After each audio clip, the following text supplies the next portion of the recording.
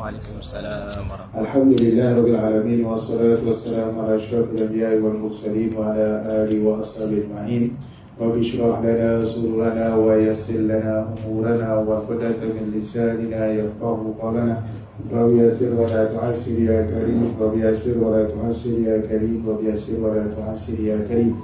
قال الله تعالى في القرآن العظيم سبحانك لا علم لنا إلا ما علمتنا إنك أنت عليم حكيم ولا حول ولا قوة إلا بالله العلي العظيم. وقال الله تعالى في القرآن العظيم ومن أحسن قولا ممن دعا إلى الله وعمل صالحا وقال إنني من المسلمين. صدق الله العظيم. اللهم صل على سيدنا محمد عبدك ورسولك النبي الأمي وعلى آله وصحبه وبارك وسلم أما بعد الحمد لله Pertamanya kita mengamalkan syukur kepada Allah SWT kerana kezinan limpah dan kurnianya dapat kita bertemu pada petang atau malam yang penuh barakah ini dan bagi memberkati kuliah kita sama-sama lah kita buka dengan kitab Al-Fatihah أعوذ بالله من الشيطان الرجيم. بسم الله الرحمن الرحيم. الحمد لله رب العالمين. الرحمن الرحيم. مالك يوم الدين. إياك نعبد وإياك نستعين. من الصراط المستقيم. صراط الذين أنعمت عليهم غير المغضوب عليهم ولا الضالين.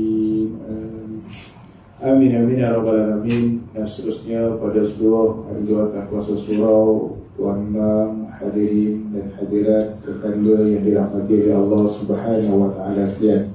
Apa khabar semua?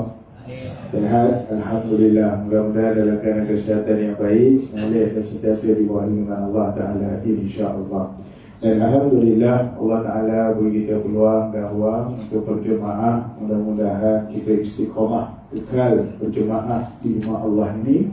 Dan kita sentiasa memperingat Dan diingati tentang Allah Subhanahu Wa Taala dan juga kerasulan baginda Sallallahu Alaihi Wasallam. Sama-sama lah jaga diri kita dan kita rasa bersyukur Allah Taala tidak membuka sebarang aib kita dan dalam masa yang sama kita berdoa kepada Allah Taala. Mudah-mudahan dia mukallibal qulub sabit qulubana ala dini. Supaya kita ini sentiasa dipelihara kok ada berbolak balik ada pemikiran yang negatif kembalilah kepada agama Allah insya-Allah. Ya jadi tuan yang dirahmati oleh Allah taala hari ini kita kongsikan dan teruskan penyambungan kita indahnya solat berjemaah tuan ya tak silap saya pada yang terakhir berkaitan dengan imam seorang yang mempunyai kulub iaitu dia belum berkhitan tuan dan hari ini berkaitan dengan imam yang sentiasa berhadas atau menanggung najis yang dimaafkan. Ya, ha, sentiasa berhadas atau menanggung najis yang dimaafkan tuan. Ya, apa yang berkaitannya? Ya, dan dalam masa yang sama ni kita senang nak ambil mudahnya ha, lelaki yang kencingnya tidak tus. Ha, okay? ada lelaki yang demikian tuan. Ya, tapi Benda ni boleh kawal dan benda ni boleh dirawat sebenarnya. Dan sebenarnya ianya kena dilihat dalam diri sendirilah. Ya, supaya kita semua prihatin. Ya, kalau nak jaga badan itu, ha, tu dia kena buang air dalam keadaan yang baik lah. Ya, dari segi kesihatan tersebut. Okay. Dalam keadaan ini, pengarang kitab Mawni Al-Muhtaj. Ya, juzuk 1 halaman 484 mengatakan bahawa menurut pendapat yang paling sahih ha, menurut pendapat yang paling sahih sah ikutan seorang yang sehat dengan orang yang berpenyakit kencing tidak lawas. Ha, maknanya dari segi hukumnya asalnya sah. Begitu juga dengan ikutan solat seorang perempuan yang suci dengan perempuan yang beristihadah Ya, tahu kan perempuan ya? Darah istihadah tahu eh? Ha, perempuan lah yang mengalami eh.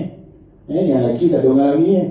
Ya, ha, kalau lelaki yang mengalami eh, tu yang banyak yang tak puasa tu. Kan? Ha, ya, tapi penyakit ni walau demikian tetap juga kono puasa tu kan. Okay, istihadah darah penyakit yang keluar dari faras tuan okey maka hukum dia sah ha.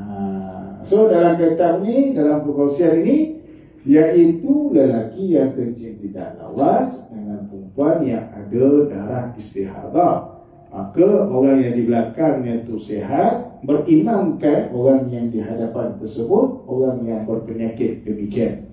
Ya? Ha, tapi dia tetap tidak sah apa dia apabila lelaki berimamkan perempuan yang darah istihadah itu bangang nama ya ha, betul kan Ha, yang tu kena jaga-jaga lah. Ha, jangan dibuat pasal ha, nikah apa dia punya solat tu tidak sah kerana perempuan jadi imam. Ya, mana boleh imam kepada lelaki tu. Namun perempuan yang menjadi imamnya itu perlulah tidak termasuk dalam kategori mutahayyirah. Perempuan yang tidak menentu headnya dan tidak dapat membezakan darah yang keluar sama ada haid atau bukan atau perempuan yang telah lupa waktu haidnya. Ha, jadi perempuan kena tahu lah. Ni kalau perempuan dia tak tahu dia punya kita haid dia, haid dia pula tak menentu. Ha, tak boleh lah kata kategori ini tu kan. Ha, sebab dia nak kena kena pasti darah dia tu darah haid tu darah istihadah tu. Ya? Ha, yang tu perempuan punya hal. Yang tu perempuan yang urusan. Sebab itu kalau dulu saya belajar kitab hit, tuan Saya belajar kitab hit, tuan Ya, lelaki belajar kitab hit. Ha, ada buku dia tu. Ya, tuan Ha, jadi menghabiskan dia tu muntah pagi sampai petang. Ha, tapi disebabkan kita tak ada praktikal, tak ingat dah sangat tuan Ya, Ya, ha, sebab kita dulu belajar nak belajar kitab, belajarlah juga kan. Ha, tapi dari segi praktikal tu tak tahu. Tak tahu lah semua ni ingat. Dia kadang-kadang akak saya tanya, bini saya tanya, kena rujuk dah balik. Kan? Sebab nanti kan salah bagi jawapan pula. Ya, mana kita ingat? Benda ni semua kita guna praktikal. Macam kita mandikan jenazah lah. Ya, tuan-tuan. Ha, kalau yang tok siap tu, biasa mandikan jenazah. Okey. Kan? Yang duduk sini, dalam ni, siapa yang mandikan jenazah? Ada tak? Tak ada. Ha, selalu jenazah mandi ke mana? Oh dia mandi ke masjid Ataupun dia mandi sendiri lah Oh bukan dekat sini Sebab saya tengok sini ada tempat jenazah Tak ada eh? Emergency lah Oh maknanya kalau emergency Tak ada ke masjid Dia mandi sendiri Mana jenazah mandi sendiri lah kan Ya, Allah malam. Tapi benda ni saya nak bagi tahu, saya pun, tuan bila orang tanya, Ustaz, mandi jenazah, dia kata, bang, get sekali. Ya, panggil juga orang yang jenazah tu sebab kita tidak biasa buat teman benda tak praktikal. Tapi kalau buat semayang apakah ada nama eh? bang tu semayang sama ada hasil semayang. Itu masalah nama tu. Ya, adalah orang tu tak pergi semayang juga kan? Okay? so dalam keadaan demikian ha, maka yang perempuan ni tadi kalau dia tak tahu dunia kita rahim dia macam mana dia pun tak tahu nak beza kan ha, tak boleh lah eh? maka inilah yang dikatakan tadi tidak termasuk adalah kategori yang dibenarkan perempuan yang darah istihadah tadi tuan-tuan. Okey. Hal ini kerana perempuan yang mutahayyirah diwajibkan untuk mengulang solatnya. Oleh itu, ikutan solat di belakangnya adalah tidak sah. Walaupun makmum yang mengikutinya itu turut berada dalam kategori mutahayyirah. Selain itu, ikutan solat turut dikira sah. Okey. Maknanya, tadi kasih saya ya, yang dia dah confuse dengan keadaan dia tuan maka solat tu dikira apabila orang yang beristinja dengan air berimamkan orang yang beristijmar beristinja dengan batu ha, ni kalau orang yang beristinja dengan beristijmar tuan tuan pernah tak beristinja pakai batu? Ha? ha. takut pernah Ustaz. Pakai batu apa? Batu batu kan? Parah kan? Kan jadi tak ada lah kan? Ha, sukar ya tuan-tuan. Ya? Ha, tapi kok kalau diuji kan? Ha, terpaksa lah. Ya? Pakai batu cari yang bosa sikit dia ambil tapi ambil koci pula payah pula kan ambil bosa pun payah juga ya kalau buang air kecil dia tidak apa kalau yang buang air bosa ha, tak tahu lagi apa tuan eh sapu-sapu baru sapu-sapu baru ha, jadi lain pula tuan Ya, ha, so benda-benda tu lah. Tapi kita bersyukur lah. Kita tak ada masalah apa ni. tapi orang yang dia urusan ke kawasan-kawasan tertentu, ha, tak boleh nak kata apa lah. Ya? Ha, tapi yalah, ada juga perangai kan, bukan? Ya? Ha, orang yang apa?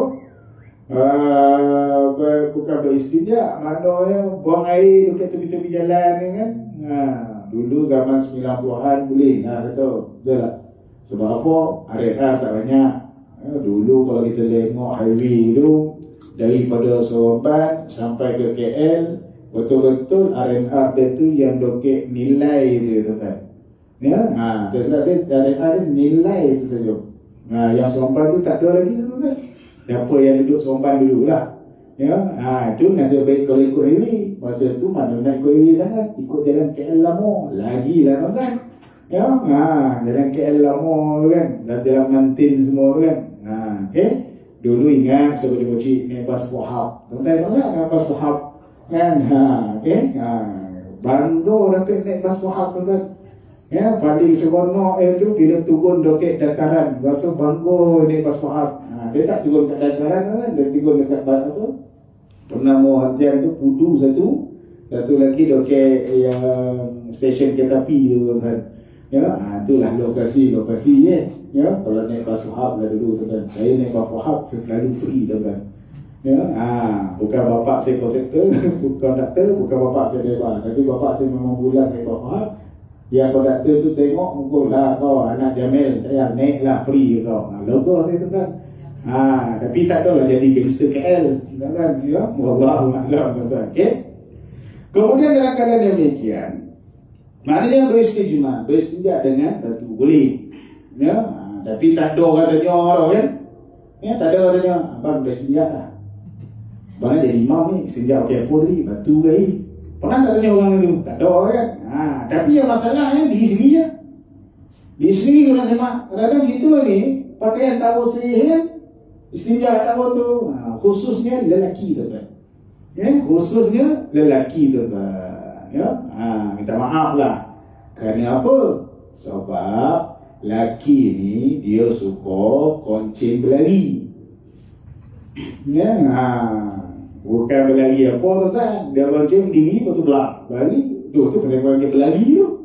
Ya ha, koncing berdiri ni dia ada efek dia. Efek dia sebab dia punya kencing dia tu tak habis tu kan ha, tak habis dia punya keluarnya tu kan So berhati-hati. Ya. ha, Berjaga-jaga. Kakak kalau tengok suami jenis macam tu Toko sikit. Ya. ha, Toko suami macam tu Kalau yang jenis macam tu. Tapi kalau dia toko Tanda ya apa? Tuan-tuan masuk di air Tak tutup pintu nama Itu yang cerita dia Kan? Ha.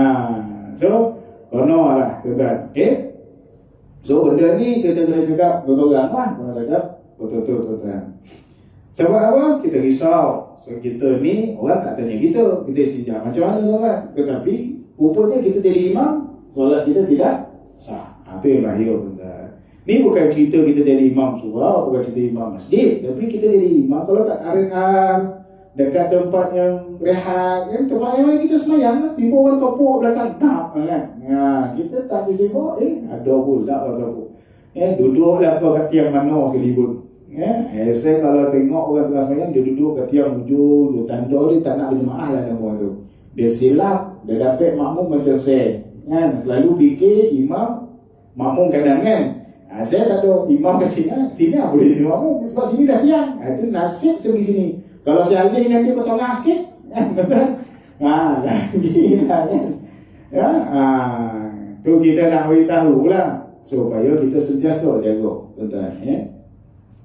Kemudian yang kedua, orang yang menutup aurat berimamkan orang yang tidak mempunyai pakaian untuk menutup auratnya tuan-tuan. Okey? Ha, ya maknanya ini berkaitan dengan orang yang tertentu.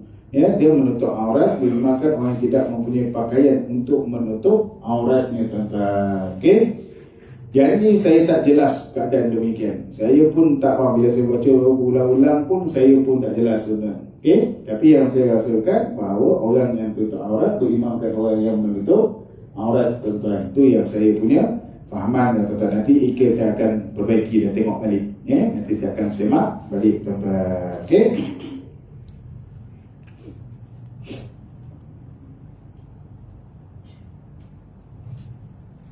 Kemudian imam mempunyai luka dan darahnya sentiasa mengalir. Ha, yang ini dimaafkan.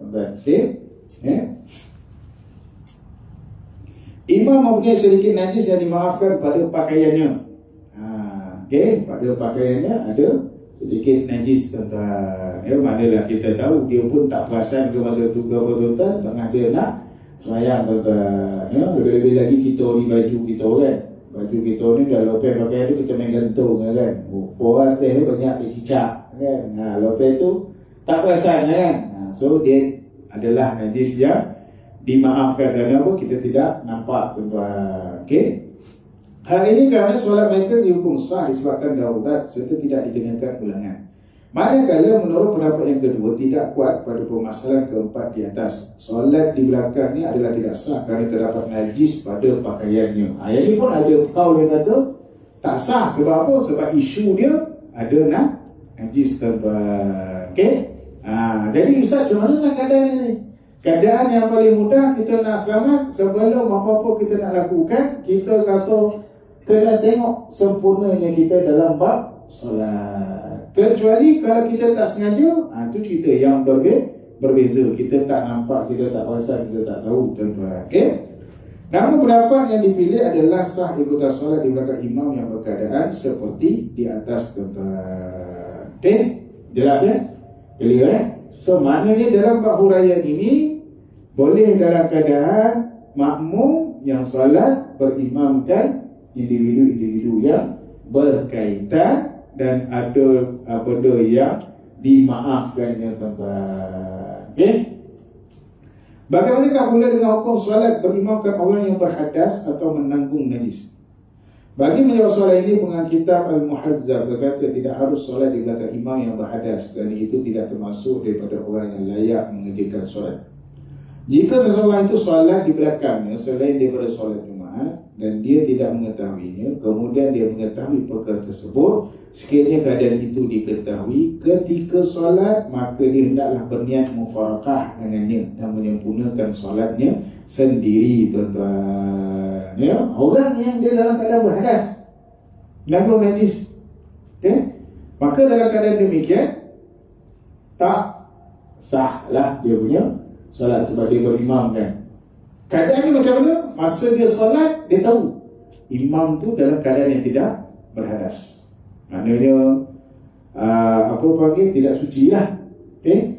Uh, yang berada dalam keadaan berhadas. Maka dia tahu tengah semayang, tiba-tiba terfikir. Dia rasa ni kan? kan? Ya, uh, maka ya, dia perlu di mufarakah. Mufarakah maknanya dia keluar, dia semayang dalam persen, bersendirian tentang. Okay? Selepas selesai mengerjakan solat, dia tidak wajib untuk mengulangnya kerana tidak ada sebarang tanda yang menunjukkan imam tersebut berhadas. Maka situasi itu dikira sebagai suatu keuzuran dalam solatnya di belakang imam. Jadi pada mereka yang dia tahu Lepas mengerjakan solat Tak perlu dah Ulang tempat Okay ha. Clear eh Jelas eh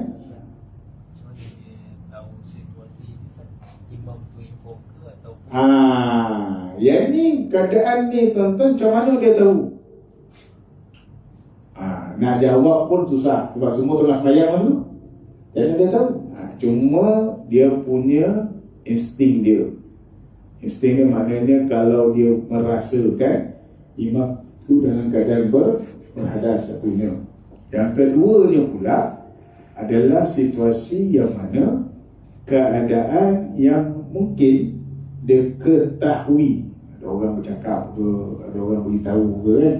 Ha, itu dia lah keadaan cuma dari segi macam mana nak kenal secara tepat dia tu wallah maklum kan ya, tak boleh nak cakap secara yang realitinya. Sebabnya semua dalam keadaan yang dia ber, bersolat tepat ya? Ha, kecuali kalau imam tu sendiri yang menyatakan. Ya? Ha, jelas? ya? So yang ni benda ni kita tak boleh nak macam mana kan? Ya. Kalau lepas mayat, tu yang dia kata ni Lepas selesai menjual solat, dia tidak wajib untuk mengulangnya Kerana tidak ada sebarang tanda Yang menunjukkan imam tersebut berhadas ya? Maknanya tak ada apa-apa pengetahuan dia tentang imam tu. Selepas dia dah semayang, baru tahu. Kan? Baru dalam keadaan yang tidak berhadas atau dalam keadaan ber, berhadas. Okey? Ha. Namun sekiranya situasi ini berlaku dalam solat Jumaat pula, Imam Ash-Syafi'i berkata dalam kitab Al-Um, jika bilangan jemaah menjadi sempurna dengan imam tersebut, maka solat Jumaat tidak sah kerana imam telah mengurangi syarat solat Jumaat. Ha, ini dalam bab solat Jumaat. Eh? Jika bilangan jemaah telah sempurna tanpa kewujudan imam tersebut, maka solat Jumaat itu sah kerana bilangan jemaah telah sempurna dan hadas imam tidak menghalang sahnya jemaah sebagaimana hadas imam juga tidak menghalang sahnya solat-solatnya yang lain tuan-tuan.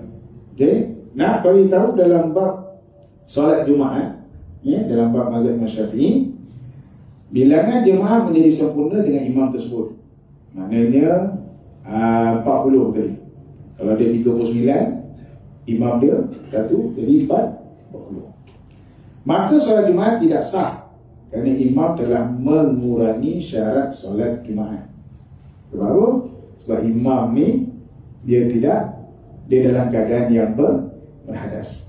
Okey. Jika bilangan jemaah telah sempurna tanpa kewujudan imam tersebut, maka solat Jumaat itu sah kerana bilangan jemaah telah sempurna. Maknanya telah lebihlah daripada 40 orang. Dan hadas imam tidak menghalang sahnya jemaah sebagaimana hadas imam juga tidak menghalang sahnya solat-solat yang lain. Ya?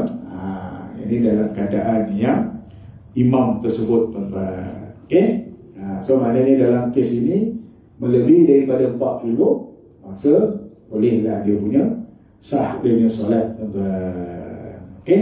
Clear eh? Ya. Walaupun imam tu dalam keadaan berhadas. Ya. Kalau dalam keadaan ini dikata namun sekiranya situasi ini berlaku dalam solat Jumaat pula, eh? Jika bilangan jemaah telah sempurna, maka solat Jumaat itu sah kerana bilangan jemaah telah sempurna dan hadas imam ha, tidak menghalang sahnya solat tersebut. Sebab apa? Sebab dia dah melebihi daripada 40 syarat dalam sempurnanya solat Jumaat tadi. Eh, sebab sekarang ni dia punya keadaan itu bergantung kepada jemaah yang hadir ketika itu tuan-tuan. Okey. Ha, jadi maknanya dia sebab dia, dia dah melebihi daripada 40 orang ha, daripada jemaah yang syarat dalam bab solat Jumaat. Okey? Ha, clear eh? Tak, kalau ada lagi tidak berlaku. Ada. Ha, sekarang ni dalam bab makmum, makmum kena lah. Makmum tak payahlah.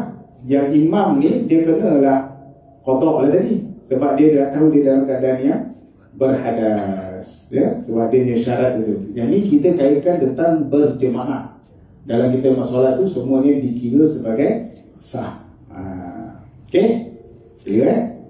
So pada mana pun ha, imam kena memperanan lah supaya dia berjaga dalam keadaan diri dia supaya dia dalam keadaan yang suci.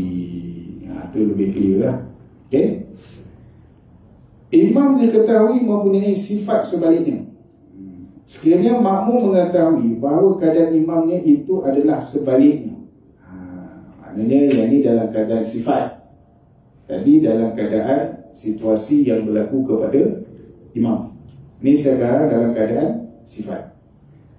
Imam diketahui mempunyai ha, ya, sifat sebaliknya. Sekiranya makmum mengetahui bahawa keadaan imamnya itu adalah sebaliknya seperti perempuan, khunsa, seorang yang gila, kafir yang menyatakan kekufurannya seperti kafir zim, zim. Saya nak jelas balik ya tuan-tuan, takut tuan-tuan nanti confuse. Cerita yang tadi tu, 13 tadi tu, hadas ini berkait gapas dengan hadas yang dia dikira sebagai had najis yang dimaafkan. Faham tak maksudnya? Ada yang dimaafkan Ada yang dimaafkan tadi Kencing yang tidak Lawas Dengan head yang Dalam istihad Sabar ya? Jangan dikaitkan pula dengan cerita berhadas yang biasa ni. Ha, faham ni? Yang berhadas yang biasa ni cerita yang berbeza. Kan sebab kita tahu dalam empat syarat sah solat semua perlu kepada suci. Tidak boleh dalam keadaan ber, berhadas. Faham? Sebab dia hadas ni kena faham ni. Walaupun kita kata sebut tentang bab berhadas-berhadas tapi cerita dia berhadas dalam keadaan yang najis yang dimaafkan ni tadi tuan-tuan. Okey? Ha, jangan nanti dikata oh kau jadi kan macam mana ni? Kan perempuan lelaki tu memang tak dalam keadaan tidak ber tidak suci kan? Ha, tak boleh. Ha, tu kita kena faham tu. Ya? Ha, saya takut nanti ha, dah pure. Tidak lah semayang dah sah lah semua kan? Ha. Faham tak ni? Jelas tak? Ya? Ada yang tadi tau, yang cerita yang di awal tadi tu. Yang boleh dima boleh dimaafkan sebab dia kencing dia tak lawas tadi, tak tahu tadi. Ya? Ha, kalau yang dah memang kecil biasa tu, memanglah. Dia memang semayang dia memang kita dia tak sah lah semua sekali. Betul tak? Sebab apa? Sebab imam tu dah dalam keadaan yang dia ber, berhadas. Berhadas yang besar ni kan. Yang memang tak sah lah dia punya solat. Ha, tu kena faham tu. Ya? Ha, saya takut nanti kan dah pula. Mana pula ni kan? Ya, kalau pen ni tentu pula keadaan. Ha, tu kita kena faham sebab syarat sah solat begitulah. Tapi ini dalam aspek, dalam situasi orang yang berhadas sejak asal tadi. Bukan cerita yang tetap atas dia syarat betul tu ya? Jelas eh? Ha kan nanti kan dia syarat apa kan payah pula tuan okey? Ha. Okey kemudian si uh, imam diketahui mempunyai sifat sebaliknya. Sekiranya makmum mengetahui bahawa keadaan imam itu adalah sebaliknya. Ha maknanya makmum ni pula sifat makmum tahu sifat imam ni satu imam tu perempuan dua khunsa Tiga seorang yang gila. Kafir yang menyatakan kekufurannya seperti kafir zini Kafir yang menyembunyikan kekufurannya seperti zindik Maka mamu wajib mengulang solatnya. Hal ini kerana sifat perempuan kekufuran menyatakan Dan apa-apa yang disebutkan ke dalam kedua-duanya sebut ini Merupakan suatu tanda yang nyata. Ayat ini memang jelas lah. Eh, Memang nak kena mengulangkan solat tersebut Kerana apa? Sebab dia berimamkan orang yang memang tak cukup syarat lah Untuk jadi imam Okey? Jelas eh? Clear eh? Ha, so saya nak kembali balik yang tadi eh. Jangan juga kan Tak boleh confuse kan Kalau dalam keadaan wadah je eh? ha, Ini cerita yang dimaafkan Tadi tuan-tuan Okey? Ha, clear eh? Kemudian imam seorang kafir Perempuan dapat dikenali dengan suara Bentuk tubuh badan dan lainnya Begitu juga unsa dan orang gila Ciri-cirinya mudah diketahui Maknanya imam yang diketahui tak sifat ni Perempuan kita tahu Perempuan kan Kita boleh dengar suara eh. ya, ha, Perempuan garang macam mana pun Tetap ada tiun perempuan ni kan? ha, ya. Perempuan garang marah kena pun Lelaki tetap entok ya, ya. Ha, ya. Lelaki kalau marah kena pun Perempuan tanya Betul kan Allah Allah tapi yang beberapa kali semua untuk yo, sebab malam untuk ya, tak berani nak melawan wanita soleha kan Allah malam dan okey So, perempuan dapat dikenali dengan suara, bentuk tubuh badan dan lainnya. Begitu juga unsa dan orang gila, ciri-cirinya mudah diketahui. Maknanya boleh. Manakala orang menyatakan kekufurannya dikenali melalui perbuatan memasuki rumah-rumah ibadah mereka dan lain-lain. Orang kufur ni, orang kafir ni kita tahu. Jadi kafir ni, dia pergi rumah ibadah. Dia boleh lah. Eh? Makmum yang berimamkan Tapi bila kata pergi rumah ibadah Dia boleh ni pula kena tengok juga.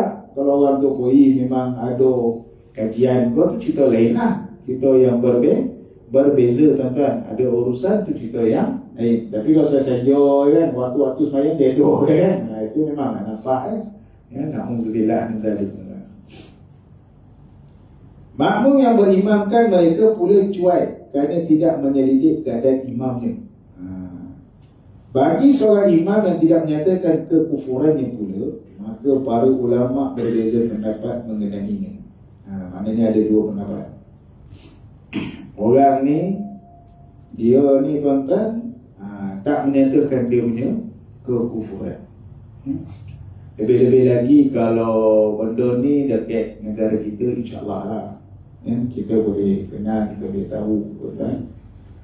Kalau kita pergi negara luar kan? Uh, Kalau negara luar, tuan-tuan yang mungkin biasa pergi ke overseas kan?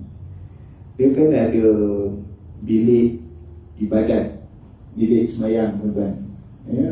Dipanggil prayer room kalau pergi tak salah masa lagi Australia tu pun ada ya, prayer room bilik semayang dekat airport kan. Ya, ha, kalau tuan-tuan pergi negara-negara tu lah. Ha, prayer room tu maknanya bukan surau tu. Bukan masjid. Tompek semayang. Ha, semua agama boleh semayang situ. Tapi dia boleh tompek tu memang bosih lah.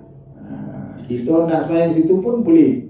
Cuma arah kiblat kita tu bilik, bilik biasa ya. Ha, jadi kita tengoklah kiblat tu. Ya. Ha. Kan tiba-tiba kita tengok ada orang pernah sayang kan.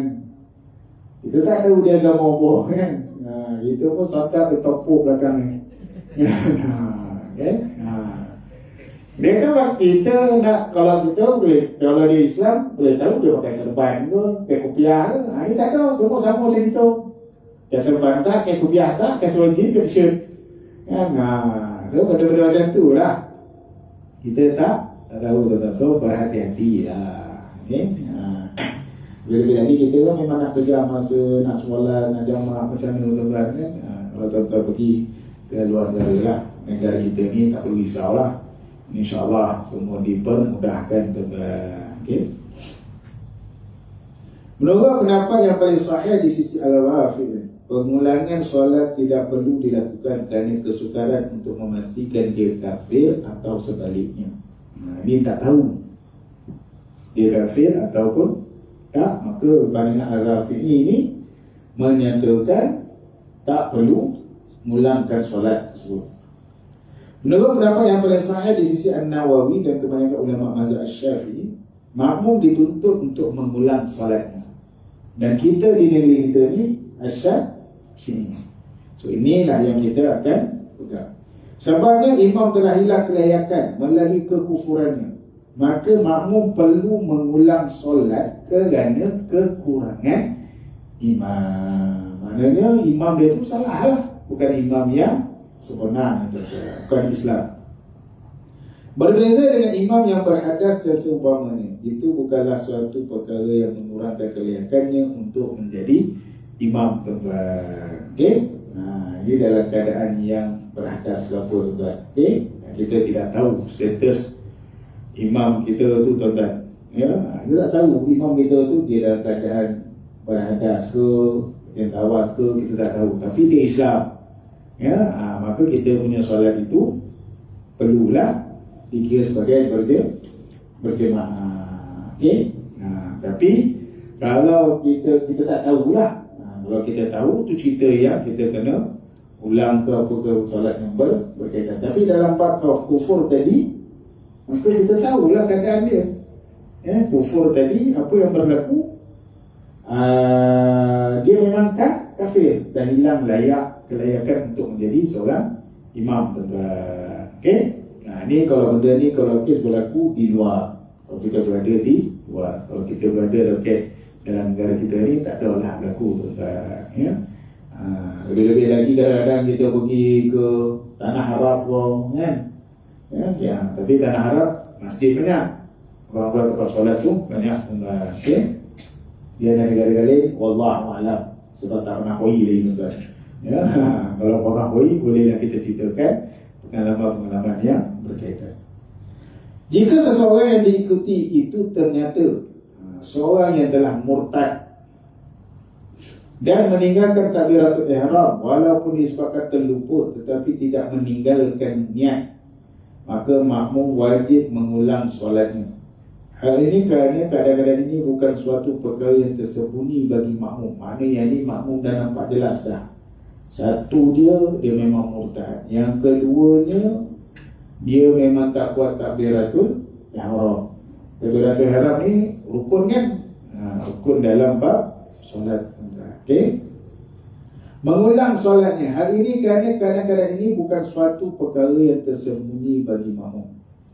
Oleh itu dia dianggap sebagai seorang yang cuai Eh, namun jika imam meninggalkan niat, makmum tidak diwajibkan mengulang solatnya kerana itu adalah suatu perkara yang tersembunyi. Yang ni langsung kita dah ulang niat yang tinggal ke ya ke tak ya kan? Kita tak tahu. Ha, tapi kalau dalam bab niat solat Jumaat, imam tak ada niat berimam, maka solat tu tak sah. Ha, ya? Maknanya tu yang kena berhati-hati tu. Ha, solat yang biasa tu kalau yang biasa tidak ada dengan imam solat itu tetap sah. Okay? nah, solat Jumaat dia berbeza. Dia mesti berlaku dalam keadaan yang berjemaah. Tetapi sekiranya seseorang mengikuti imam yang telah memeluk Islam Kemudian selepas solat Imam itu berkata Sebenarnya aku masih belum memeluk Islam. Atau aku memang telah memeluk Islam Tetapi aku telah murtad Maka makmum tidak perlu menggantikan solatnya. Ha, ini sebab dia dah ketahui selepas solat tuan Tapi kalau berlaku roket sini apa yang akan berlaku? Ah, itu yang berlaku kan? Kenapa eh?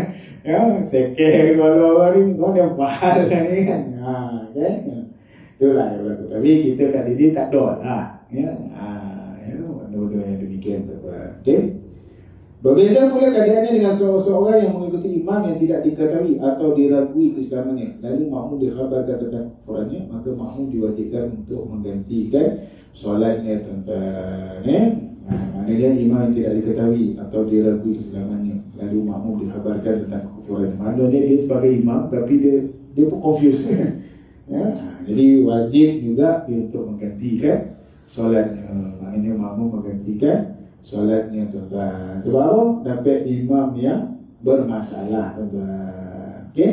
Nah, so far topik tuan-tuan, topik kita ni dia berjemaah, imam tu adalah imam yang dia cukup syaratnya dalam menjadi imam. Okey? Jelas? Boleh eh? Ada pertanyaan?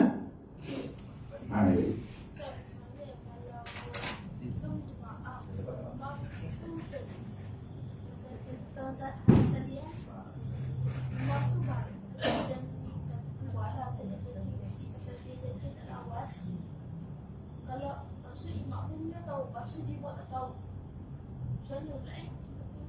Itu yang tadi punya kes tadi tu Kalau dia dah berlaku imam yang menanggung najis yang dimaafkan Maka solat itu dikira sebagai sah Tapi yang tak dimaafkan Tak sahlah solat tersebut Kerana tidak melengkapi dalam rukun bab solat tersebut Okey ha. Jadi maknanya dia cerita dia yang dimaafkan sebab keadaan yang tertentu eh, Dalam keadaan yang memang dia berpenyakit eh. Walau bagaimanapun sewajarnya kita kena cari imam yang sehat ha, Itu yang lebih baik eh. Maknanya sehat ni kalau dia tahu dia memang tak boleh dah jadi imam dah tak sesuai dah kan Maka janganlah jadi imam Tapi nak buat macam mana? Kampung tu dia seorang dia boleh jadi imam Eh, yang lain dia hanya baca Fatihah pun tak betul. Itu ha, parah nama eh. Tanda eh tak ada ustaz yang datang ajar. Ya, ha, lepas tu dia kena ada ustaz datang ajar kena beritahu supaya mendidik masyarakat semua boleh solat secara berjemaah dan mengimamkan solat jika diperlukan. Okey? Ha, boleh? Ya. Yeah.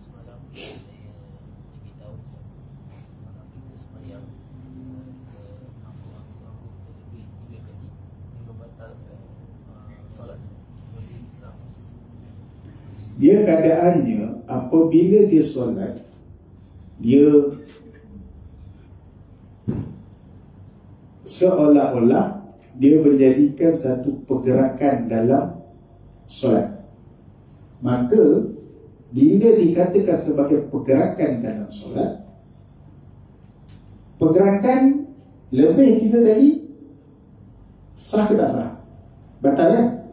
Samalah dalam keadaan yang demikian So maknanya Sesiapa yang semayang Kena rujuk Dia ni Mengangguk tu atas dasar Pergerakan ke Apa Tapi secara umum ni dia bukan tak boleh togak. Tengok mak kilau togak. Betul kan? Jadi di situ bukan satu penyakit pada dia. Ha, dia dah jadikan satu perger, pergerakan. Ha, jadi sekarang ni segala keadaan bila dikira sebagai pergerakan maka lebih tiga kali batal solat tersebut. Ya? Ha, contoh kalau ada orang gini ya. Jadi memang dia minta dia ada. Memang dia tak boleh nak ngelak ya. Ha, dia kena berusaha supaya menang ya. Dia cari ya, tapi dia ha, tu penyakit pada dia. So, adakah dia batal solatnya? Penyakit pada dia, dia memang dah tak boleh dah, tak boleh stop kan? Ha, dulu kan ada orang gini ya. Kan? Betul tak? Ada yang ni apa tu yang ni? Betul? Ha, jadi benda tu dia kena ubat. Tapi yang dalam keadaan yang tadi tadi tu tak menzahirkan pergerakan yang uh, tu dia punya ni anggota yang utama. Ya, tapi dalam kitab fiqh kita ni memang kita jelaslah pergerakan yang utama dari segi tangan, bengkok semua. Tapi kalau kepala tu memang dah lebih macam zikir pula. Kan? Ha, jadi benda itulah yang boleh menyebabkan dia punya pergerakan lebih daripada tiga dan boleh membatalkan solat dia. Pokok pangkal diri sendiri teman. Ya? Ha, kita kadang mampu duduk sekolah dia kan kita nak tahu boleh. Eh, dia mau penyakit, macam Ya? Ha, patutnya kita sebagai orang yang bersolat kena berusaha buat yang terbaik bukannya buat benda yang tak rendah sahaja kita dah tahu dah ha, jangan tak boleh lebih daripada bukakan anak semua kan macam kita dengan jari kita ni kan ha, tapi dia tak adalah kaitan tentang cerita boleh membatalkan solat kan? tapi kalau takkan ada biasa ni ha, ha? benda tu dah macam ni tak walaupun jari ni tidak ada memberi kesan tapi kenapa ada macam ni ha? kan why why why why? Kena kenapa tuan-tuan patutnya kita kena bila kita semayang tu bertawadah jaga dengan sebetulnya tuan-tuan. Ni yang dekat sini tau bukan cerita yang tentang ni. Jari masa tayang ni masih dekat sini kan?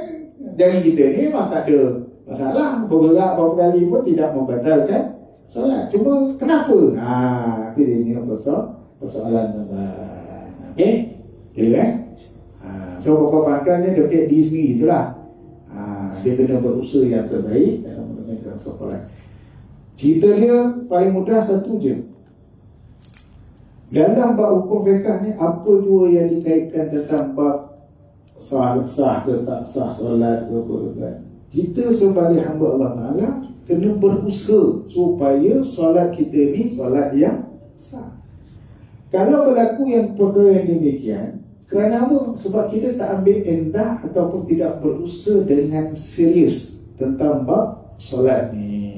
Batu kita diajar supaya semayang ni ikut sunnah Nabi, semayang ni buat betul-betul bersedia semayang dengan khusyuk tuan-tuan. Bayangkanlah sembahyang yang pandang hati tu pun jadi makruh kan? Ya, pandang hati kan? Ha, petah lain pun yang kecenian lah semua yang kita tak jaga hadas kita kita tak suci dengan bersih. Ha, ini semua lah yang kita kena jaga dengan baik tuan-tuan. Sebab tu kita pun kena mempelajari dalam bab solat ini kena dengan lebih jelas dan tepat. Dan isu-isu yang berkait kita tentang bab solat ini sebagai satu perkara yang kita nak beritahu. Perlu tak mulang? Perlu tak solat balik? Perlu tak uh, ni? Betul je. Tapi kita ni sebagai berjemaah kita kena tekun dan berusaha buat yang ter terbaik. Okey? Clear eh? Ha, ada lagi? Macam tuan, jangan pula orang yang saya saya selalu buat taksi mengayau mana-mana kan. Oh dia R&R itu jadi makmum.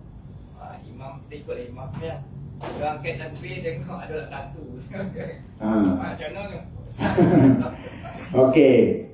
Sekarang ni dalam bab tu kalau dia memang asal Islam lepas tu dia berkatu hukum dia dia kena wajib buang tatu tu. Okey? Ha, cerita solat itu sah ataupun tidak perkara ini sebelum para ulama kata hanya dia dengan Allah Ta'ala sahaja kita tidak boleh nak mempersoalkan solat itu sah ataupun tidak kita ni pula bermakmumkan dia Ha, kita bertanggapan dan kita yakin dia ni adalah Islam Kita semayang kita nak mendapat keberkatan berjemaah. Dan pada umumnya Kalau yang kita nampak secara jelas Mereka ini memang asalnya bukan Islam. Maknanya dia masuk Islam. Jadi orang yang demikian Dia kita mensarankan. Kalau dia boleh buang Buanglah. Itu betul-betul Ha, memang dulu orang kata bila saya tanya ada beberapa yang suara baru dia dapat buang kat sini je. Kat badan tak dapat nak buang. Sebab kan dia ambil kulit kat lain tampal ke sini kan. Ha, jadi benda tu sebab perbuatan dia tu sebelum dia masuk Islam. Ha, so kita sebagai makmum kita tak boleh tak ada kita tak adalah rasa confused jangan rasa confused jangan rasa risau dan kita katakan suara kita tak adalah dikira sebagai sahlah sebab kita berjemaah dengan dia Ha, cuma saya ada tengok satu video. Uh, Sekarang ni dah ada Kemodenan uh, Alat yang boleh buang tatu. Tak tahu dah ada kat Malaysia ke tak tahu, tak tahu lah kan? Ya? Tapi dalam secara Positifnya Mereka dapatlah nak buang. Tapi secara negatifnya yang kita tak buang Orang Islam buat tatu Lepas tu tak boleh buang balik. Ha, Itu tak boleh tuan Yang ni hukum dia tetap ha? haram yang dia kena uh, bertaubat kepada Allah Subhanahu wa taala. Okey? Jelas eh? Jadi eh? Okey, ada lagi yang terakhir. Kalau tak ada, Alhamdulillah Sekadar itu sajalah tuan-tuan Kita ni perkongsian Tapi kehadiran ada saya Kehadiran ha. Okay, ha, jadi saya rasa sekadar itu saja. Kalau siapa sampaikan nanti pilihlah ya kehadiran ini tuan-tuan. Ha, sekadar itu saja daripada saya. Mohon maaf salah silap. Kita tutup dengan tasbih kafarah dan surat al-Nas. Subhanallah, Bismillahirrahmanirrahim. Bismillahirrahmanirrahim. Bismillahirrahmanirrahim. Bismillahirrahmanirrahim dan akhir kalam tingkatkan prestasi kurangkan kontroversi. Tingkatkan ma'ruf tinggalkan mungkar wabillahi taufiq Assalamualaikum warahmatullahi wabarakatuh